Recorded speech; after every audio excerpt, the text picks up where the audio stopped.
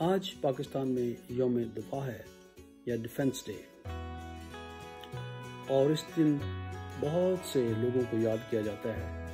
اور ان میں سے ایک نام سیسل چودھری کا ہے، جو کیتھلک مسیحی تھے۔ میری کچھ یادیں سیسل چودھری کے ساتھ ہیں اور وہ میں آپ کے ساتھ شیئر کروں۔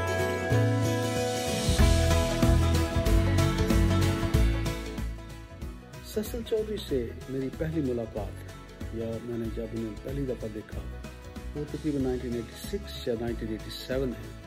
جب ہم بشپ جوزف کٹس جو اس وقت سینٹ میریز سامری کے ریکٹر تھے، فادر جوزف کٹس وہ ہمیں سیسل چودھری کے گھر لے کے گئے۔ ہم 1986 میں سیمنری کے لیے کچھ فنڈ ریز کر رہے تھے، اور ریکٹر ہمیں، فادر جوزف کٹس ہمیں بہت مختلف کانوینٹس اور لوگوں کے گھروں میں لے کے جاتے تھے اور وہاں پر ہم کرسمس کیرلز گاتے اور پھر ہمیں ہمیں وہاں سے کچھ ڈونیشن ملتی اور اسے ہم جمع کرتے تھے۔ اور انہی، اسی عرصہ کے دوران بشپ جوزف کٹس ہمیں ایک دن سیسل چودھری کے گھر لے کر گئے اور وہاں بھی ہم نے سیسل چودھری کی فیملی کو کرسمس کیرل سنائے اور پھر انہوں نے ہمیں کچھ ڈونیشن دی اور ہم نے وہ ڈونیشن کو اپنے پاس رکھ لیا۔ تو یہ میری ایک پہلی یاد ہے۔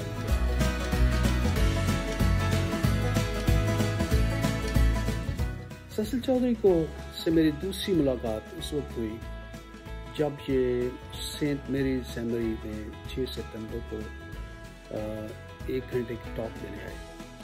سیمری میں ان کی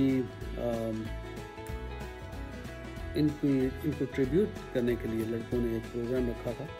اور ہم چاہتے تھے کہ وہ اس پروگرام میں ضرور آئیں اور بشپ جوزف کو اس کی مدد سے ہم انہیں سینٹ میری سیمری میں بلانے میں کامیاب ہوئے اور انہوں نے اپنے اس ایک گھنٹے کی ٹاک میں یا گفتگو میں ہمیں اپنے ایئر فورس کی لائف کے متعلق بریفلی بتایا اور انہوں نے اس بات کا خاص طور پر ذکر کیا جب وہ انڈیا کے ایک دشمن طیارے کو گرانے میں کامیاب ہوئے اور صحیح سلامت واپس پاکستان پہنچ گئے۔ تو ان کی لائف کی جو سٹوری تھی وہ بڑی امپریسو تھی۔ اور جب وہ یہ سٹوری سنا رہے تھے تو ہال میں پن ڈراپ سائلنس تھی۔ ہم زیادہ نوجوان تھے اور نوجوان ان کی ان باتوں کو کتنے غور سے سن رہے تھے۔ یہ بڑی متاثر کن بات تھی۔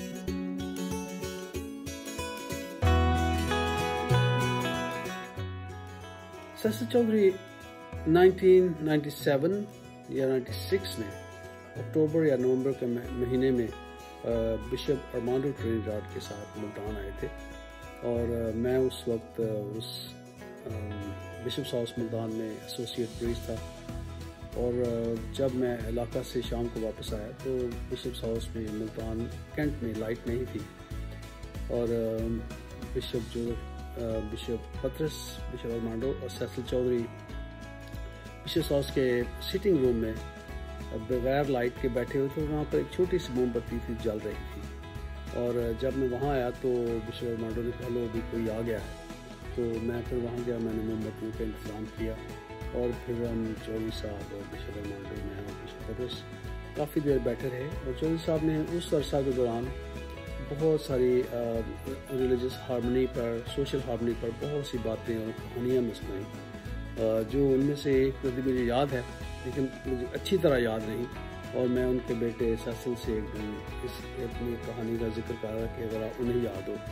تو یہ تھی ان لوگوں کی باتیں کہ کس طرح وہ اپنی ہر گفتگو میں، اپنی ہر بیٹھک میں سوشل ہارمنی یا ریلیجس ہارمنی یا ہیومن رائٹس کی باتیں کرتے تھے۔